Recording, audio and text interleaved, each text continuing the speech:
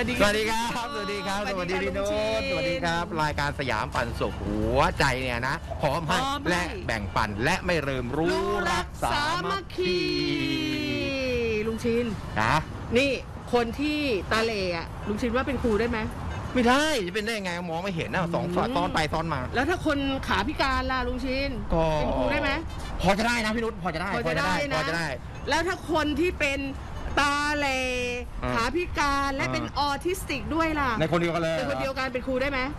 ไม่ได้จะเป็นได้ยังไงตัวเองยังไม่รอดเลยนี่ไม่ได้นี่ไม่ได้ไม่ได้นี่ครูเชาอะผู้ชาวไหนอะครูเชาผู้ชาวไหนวะเขาอยู่ที่สะพานพระรามแปดบางพลัดอะเหรออืมเขากรุเก่งงเทมากพเลยอะเหรอนะใช่ลุงชินเป็นออทิสติกเหรอ ใช่ พาไปดูหน่อยดิ อยากดูแล้วใช่ไหมพาไปดูหน่อยนะ ท่านผู้ชมไปอยากดูไหมครับ อยากเห็นไหมอยากเห็นตัวจริงไหม ครูอะไรนะ ชื่ออะไรนะครูเชาครูเชาเดี๋ยวพี่นุชจะพาไปดูครูเชาไปรู้จัหากครูเชากัน ไปพร้อม ๆ กันเลยค่ะ ไปครับ ไปสวัสดีคุณครูกันแอะ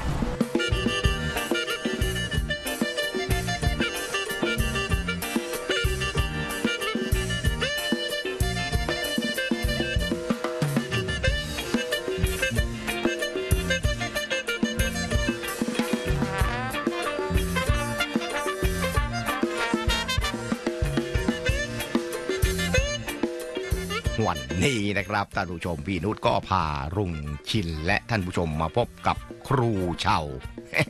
ไหนไหน ไหนคนไหนล่ะพี่นุชครูเชานี่ไงนี่ไงคนนี้แหละ ครูเชา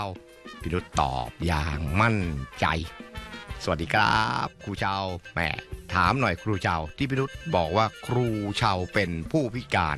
จริงไหมจริงไหม ก็จริงสิครับ เป็นเรื่องจริงแหละครับถ้าไม่จริง สถานสงเคราะห์บ้านราชาวดีนะไม่รับเลี้ยงผมตั้งแต่เล็กจนโตหรอกครับลุงจิน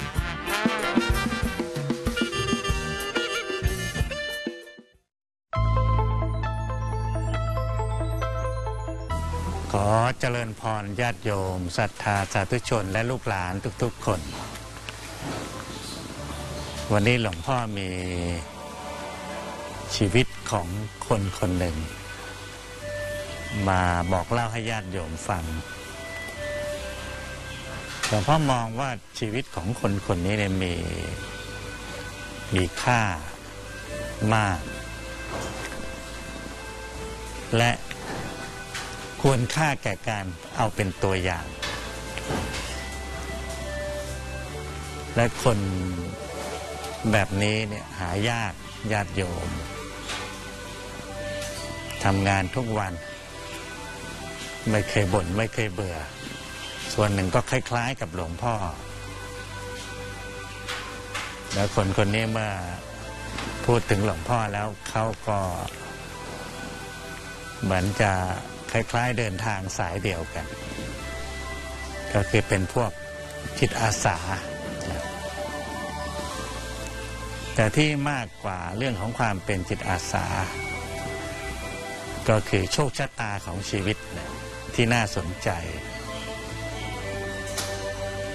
ผู้ชายคนนี้เกิดมาก็พิการมาตั้งแต่เกิดญาติโยม เติบโตขึ้นมา โดยที่ไม่มีครอบครัวเป็นผู้เลี้ยง ก็ต้องไปอยู่ที่บ้านราชาวดี คนไทยเราส่วนใหญ่ก็จะ รู้จักบ้านราชาวดีว่าเป็นที่พักพิง เลี้ยงดูเด็กประเภทที่เป็นเด็กพิเศษ ที่เราเรียกกันว่าออทิสติก ความบกพร่องทางสติปัญญา ซึ่งหลวงพ่อก็เห็นเด็กพวกนี้มามากในปัจจุบันนี้หลวงพ่อก็ดูแลอุปถัมภ์โรงเรียน เด็กประเภทนี้อยู่ จึงเข้าใจชีวิตของเด็กพวกนี้เป็นอย่างดีครับนานกว่า 20 ปีแล้วที่หลวงพ่อพยายามที่จะหาวิธีนะช่วยเด็กๆเหล่านี้ให้เขาเติบโตขึ้นมาแล้วก็พึ่งพาตัวเองได้ มีงานทำแต่สำหรับคนคนนี้นี่หลวงพ่อไม่ได้ช่วยเหลืออะไรเลยนะแต่เขากลับช่วยตัวเองด้วยความมุ่งมั่นทุ่มเท แม้ว่าจะเกิดมาเป็นเด็กที่บกพร่องทางสติปัญญา แต่เขาก็พยายามสู้กับชีวิต พยายามที่ทำตนให้เป็นประโยชน์แต่พ่อเชื่อว่าเขาคงมีความฝันที่สวยงาม จึงได้มีความมุ่งมั่น จนสามารถที่จะเรียนจบปริญญาตรี ในสาขาพละศึกษาที่มหาวิทยาลัยเกษตรศาสตร์ แต่ต้องสอบถึงสองครั้งนะคนที่มีความบกพร่องทางสมอง แต่สามารถที่จะสอบเข้าเรียน เหมือนคนปกติได้นี่ก็ถือว่ามีความมุมานะอย่างเป็นเลิศ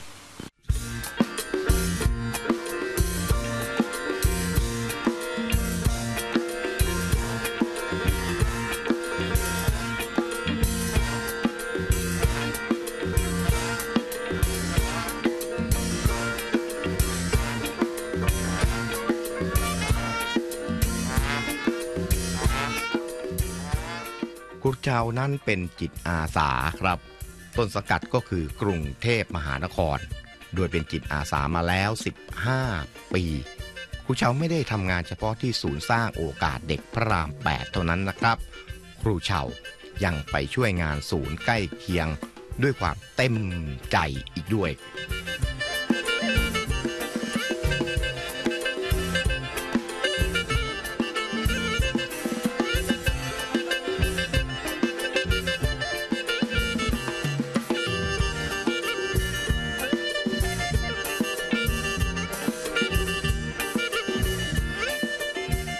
อยไหมครูเชาไม่ครับทำงานด้วยความสุขครับ ทำงานด้วยความโศกใช่ครับ เวลามีคนเอาของมาให้อย่างเงี้ยมีความรู้สึกยังไงครับ ผมผมรู้ว่าเขาเขามีการแบ่งปันให้กับคนอื่นนะครับ เราเราไม่ได้รอรับบริจาคอย่างเดียว เราให้ให้ให้เขาเห็นว่าสิ่งที่เราทำงานยังมีคนเห็นอ๋อดีใจที่มีคนเห็น ครับผม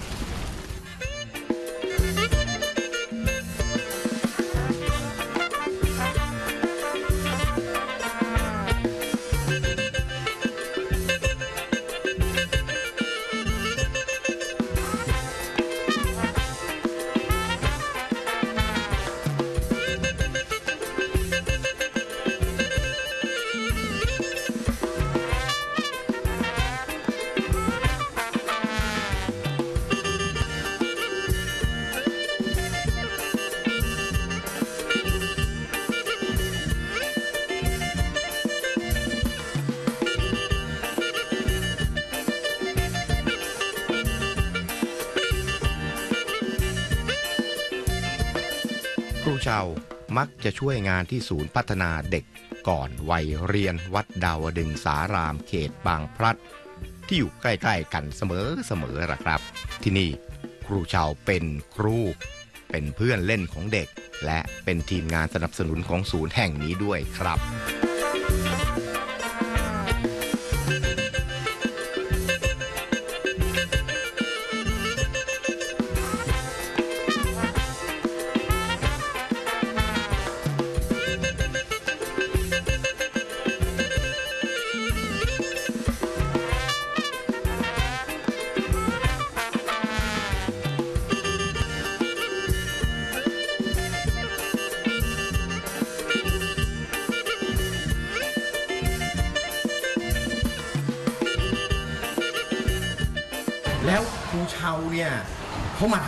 เนี่ยที่เนี่ยอ่าครูเชาเขามาช่วยเหลือทุกทุกอย่างค่ะ ช่วยเหลือทุกอย่าง ผมไม่เชื่ออะยังกวาดพื้นยังอ่ายกโต๊ะยกเก้าอี้ หาโต๊ะหาเก้าอี้เนี่ยทำไหม ทำค่ะ อ้าว เก็บเช้านี่ตีสี่ต้องไปเก็บขยะเพื่อหาเงินมาให้เด็กๆก่อน เหรอครับ แล้วครูเชาอะทุกมาจากไหนเนี่ย อืมมาจากสวรรค์มั้งคะครูว่างั้นเลยเหรอ อะไรเป็นเป็นเทวดาของเด็กๆอะค่ะ อ๋อ หมายถึง ครูมีความรู้สึกว่าเหมือนเป็นเอ่อสิ่งที่ประเสริฐของเด็กๆใช่เป็นเทค่ะวดาเลยใช่ค่ะ โอ้โหทำไมไปเปรียบเทียบซะขนาดนั้น แหม ยกย่องกันเองก็เปล่า อยู่ด้วยกันครูไม่ไม่ค่ะ เพราะว่าจริงๆแล้วเนี่ยครูเชาช ช่วยเหลือเด็กๆให้ให้ให้เหมือนกับให้พ้นทุกข์อะค่ะ ให้พ้นทุกข์จากการไม่มี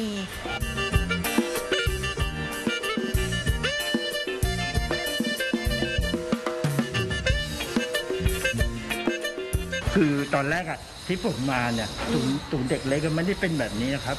ไมันเป็นยังไงอะผู้ชาวอ่าไม่มีสีสันอะไรเลย คือศูนย์พัฒนาเด็กเล็กดีรั้วมีไหมรั้วมีไหมรั้วรั้วมีแต่ไม่มีหลังคาตรงนี้มีไหมครับหลังหลังคานี้เรามาต่อเติมเพิ่มครับโอ้โหอ๋อเรามีแต่อาคารที่อยู่ด้านหลังใช่นี่อยู่ด้านหลังขึ้นครับแล้วก็เรามาเอาวันวันที่ผมมาผมเห็นเห็นเห็นเด็กๆครับครูชาวก็เลยไปขอ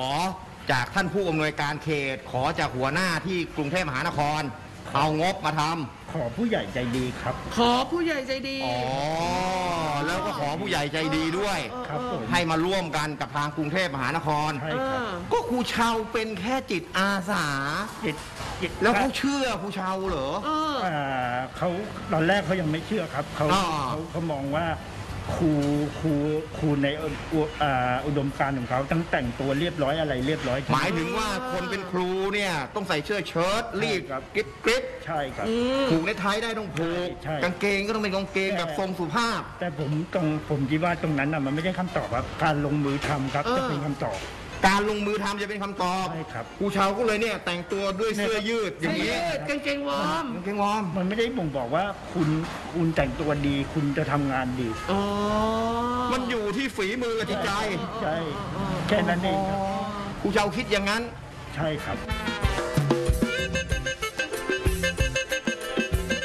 เช่นเช่นครูชาวช่วยอะไรบ้างครับจากหิวเป็นอิ่ม อ้าวนั่นหมายถึงว่าทางสภาพร่างกาย อืมหิวเป็นอิ่ม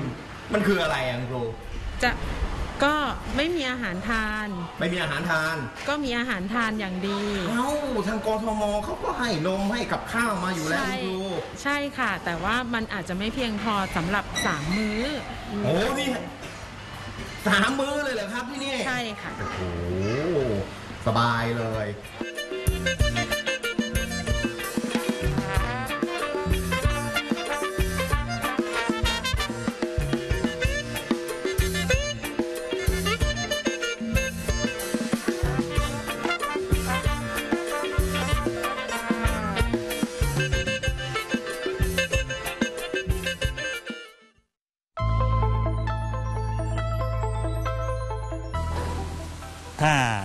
วงพ่อจะพูดในภาพรวมๆเนี่ยครูชาวเนี่ยเหมือนกับ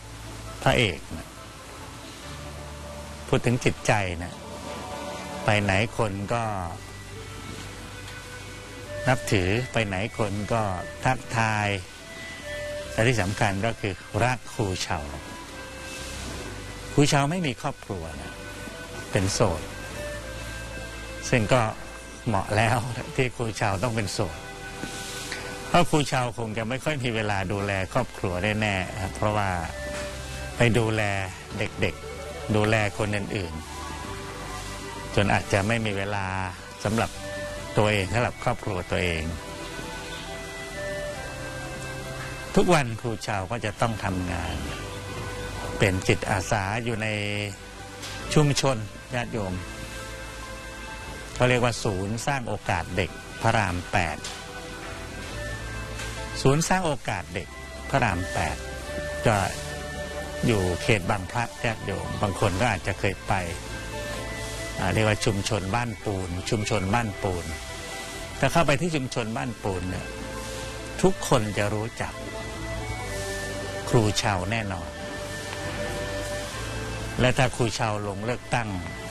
ชาวบ้านแถวนั้นก็บอกทุกคนจะเลือกครูชาว ไม่ว่าจะเลือกตั้งอะไรก็ตามเพราะคิดว่านั้นก็เป็นเรื่องจริงนะเพราะทุกคนรักครูชาวครูชาวถ้าจะพูดคำสั้น ๆ ก็คือผู้ให้ และให้ด้วยความกตัญญูรู้คุณต่อสังคมครูชาวเนี่ยบอกว่าเขาเป็นผู้รับมาตั้งแต่เกิดนะพอเกิดมาเนี่ยเขาก็ได้รับการดูแลโดยบ้านเด็กนะราชาวดี พ่อก็เคยไปมาน่าจะไม่น้อยกว่าสองสามครั้งแล้ว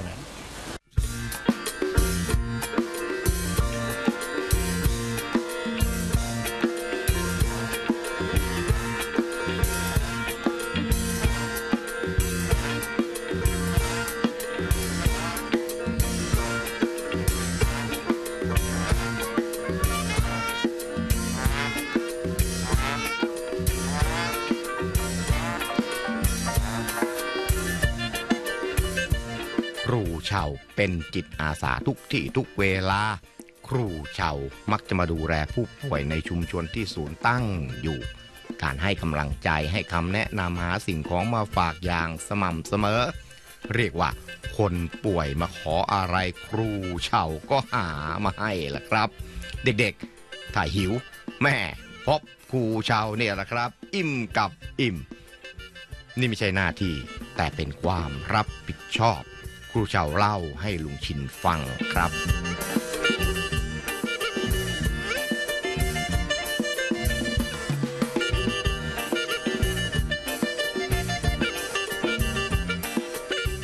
ผู้เชาวน้องใส่เสื้อสีแดงเมื่อกี้อะที่มาโบกไม้โบกมือ หน้าร้านขายน้ำของผู้เชาวเนี่ยน้อง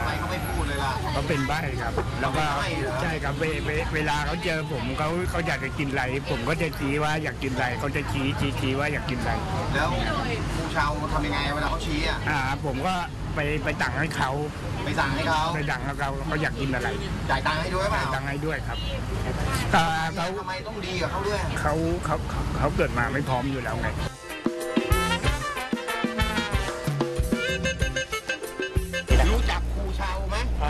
รู้จักรู้จักครับครูเจ้าอ่าเป็นครูเจ้าครับเป็นเป็นอ่าอ่าครูที่ผู้ให้อย่างเดียวเลยครับ เป็นผู้ให้แล้วก็ทำไมถึงบอกว่าครูเชาวเป็นผู้ให้ล่ะพี่ครับไม่เขาอ่าที่มั่นให้ใจกับน้ได้องยังไงว่าเขาเป็นผู้ให้ ครับเพจากราะว่าเห็นเด็กเด็กเด็กเด็กนาอ่าก็ไปขคอนตังอดค์จากตกโลกลงโลกเรียนมา ก็ไปหาครูเจ้ากันกับจากโรงเรียนมาก็ครูเด็กเจ้าๆตัวเล็กๆเนี่ยเหรตัวอเล็กตัวน้อยตัวโตของเขาจะเลี้ยงแถวชนแถวเนี้ยครับมาขอตังค์ตอนเย็นก็ไปหาอ่าครูเชาไปหา ได้ตังค์ได้ข้าวอยากกินข้าวครับเย็นนี้ไม่มีตังค์กินข้าวอะไรของเขาก็จะให้เด็กตัวเล็กมีตัวน้มีอย ไหมแบบว่า ไปหาพี่เล็กไปไปกินแพนเค้กเหรออ่ามีมีเขาจ่ายเงินมีมีมีครับมามาบ่อยครับบางทีก็มากินข้าวเอาเป็นข้าวมันนี่ไม่ให้ตังค์นะกินข้าวกัน เอาข้าวของเขาก็จะออกค่าข้าวให้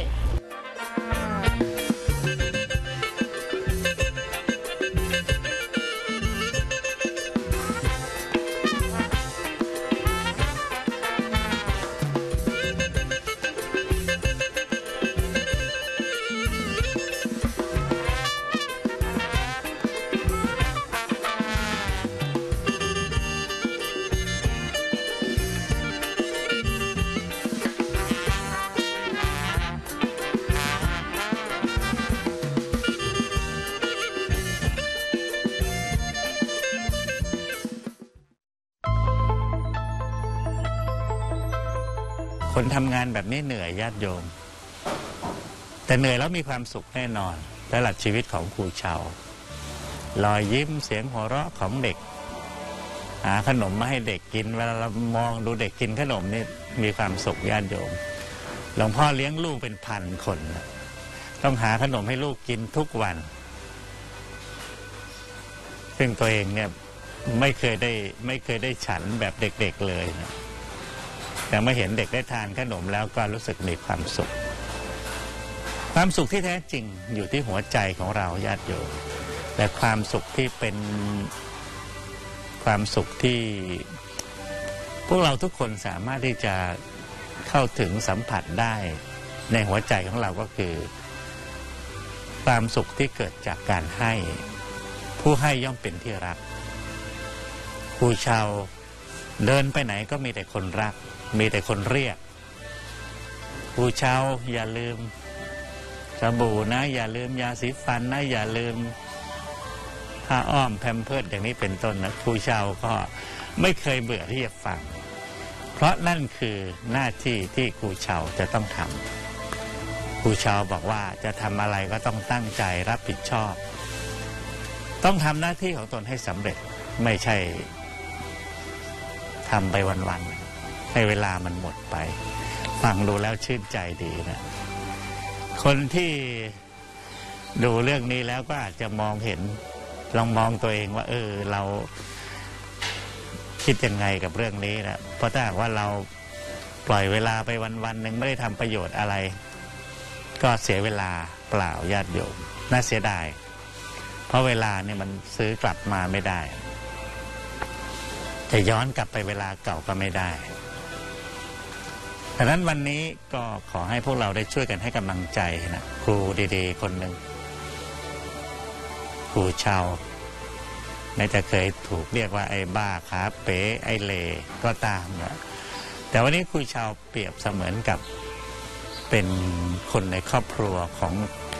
ทุกๆคนนะในชุมชนบ้านปูน และ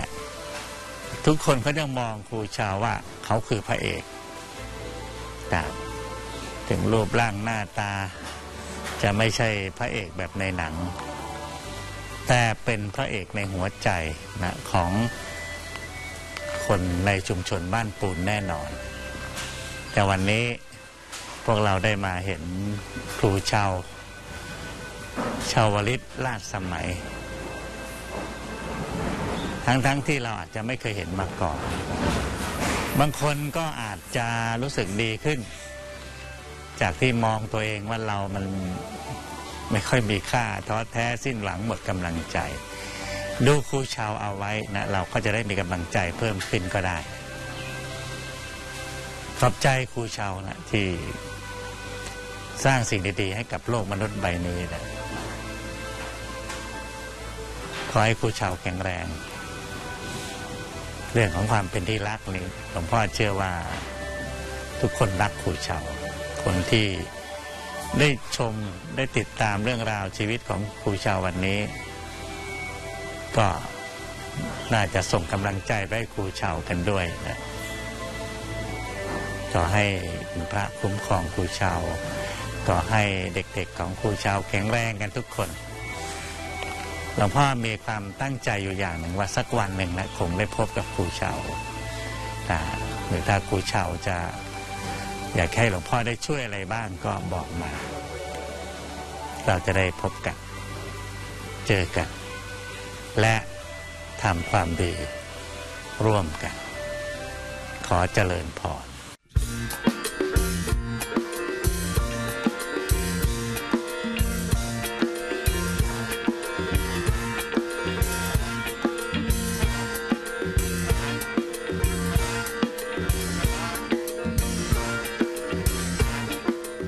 โรโรงเรียนของเราน่าอยู่ คุณครูใจดีทุกคนเอาว่าเด็กเด็กนะๆก็ไม่สู้ดีอยู่แล้วดีอยู่แล้วโรงเรียนอืมแหมดีโรงเรียน โดยเฉพาะอย่างยิ่งศูนย์สร้างโอกาสเด็กของครูเชาเนี่ยนะที่อยู่ที่สะพานพระรามแปด